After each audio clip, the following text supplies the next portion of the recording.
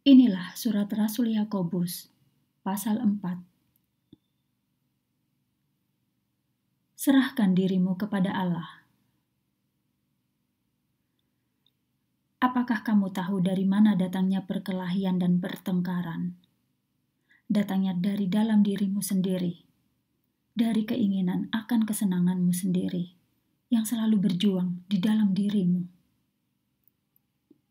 kamu mau mendapat sesuatu, tetapi kamu tidak mendapatnya, maka kamu membunuh dan iri hati terhadap orang lain.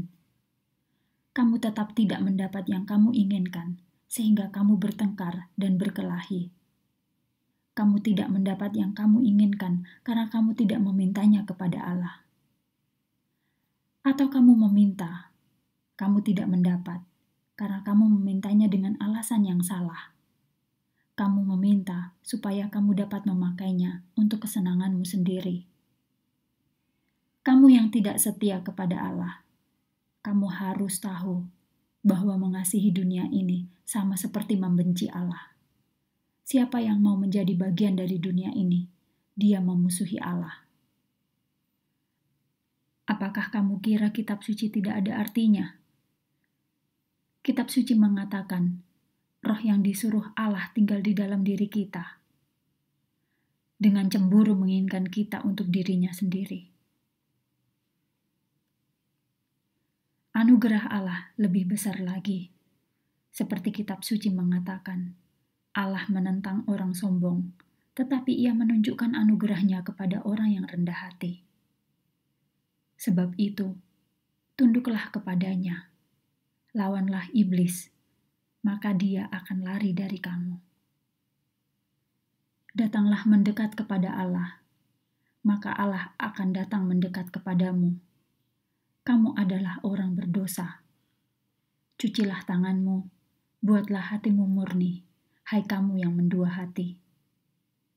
Bersedihlah, tunjukkan penyesalan, dan menangislah. Ubahlah tawamu menjadi tangisan sukacitamu menjadi duka cita.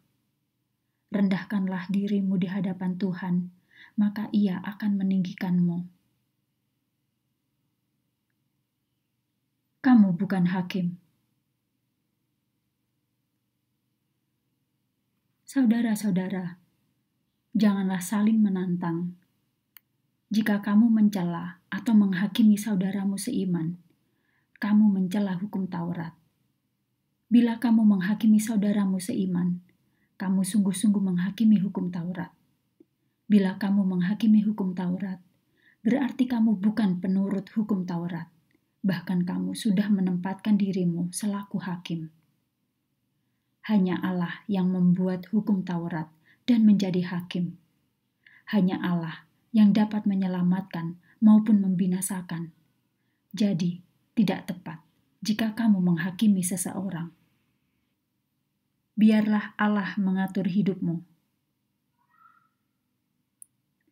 Sekarang kamu yang mengatakan, hari ini atau besok kami akan pergi ke kota ini atau ke kota itu, dan kami tinggal di sana selama satu tahun. Kami akan berdagang dan mengumpulkan uang. Padahal kamu tidak tahu yang akan terjadi padamu besok. Hidupmu hanya seperti embun tebal, sebentar ada, sebentar lagi hilang. Seharusnya kamu mengatakan, "Jika Tuhan menghendakinya, kami hidup dan akan melakukan ini atau itu." Tetapi kamu sekarang bangga dan sombong. Semua kesombongan adalah salah. Apabila orang mengetahui bagaimana berbuat baik tetapi tidak melakukannya, ia berdosa.